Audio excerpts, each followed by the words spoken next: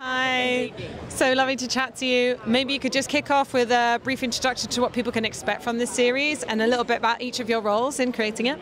Uh, Middle Earth. uh, so it's the Second Age. So it's the iconic stories of the Forging of the Rings of Power, the rise of the Dark Lord Sauron, the um, epic story of Numenor, and finally the last alliance of elves and men. Those are our sort of four big pillars. And and what do each of you? What of each of your roles? Um, Patrick and I are the co-showrunners, and I'm one of the executive producers.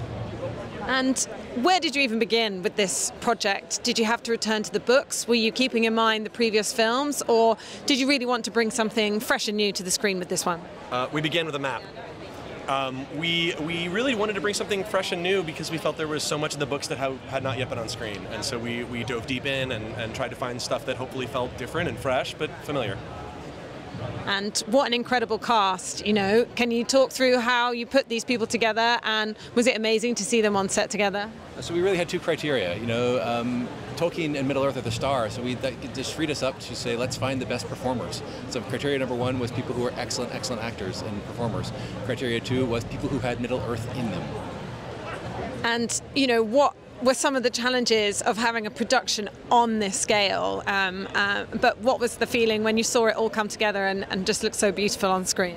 Um, there were a lot of challenges. You know, the show is five or six worlds in one, five or six shows in one. Human world, multiple human worlds, elven worlds, dwarven worlds, orc worlds, and um, including Numenor, which was a big uh, task and goal for us since it was going to be the first time it was captured on film, and um, you know all needed to be inhabited and lived in and ready to shoot all at once. Um, so there were there were no shortage of, of, challenges, but seeing it come together has been incredibly satisfying. And actually, we've only just in the last few weeks been able to see it on a big screen with other people. Has been incredibly satisfying, and we're really excited to do it tonight.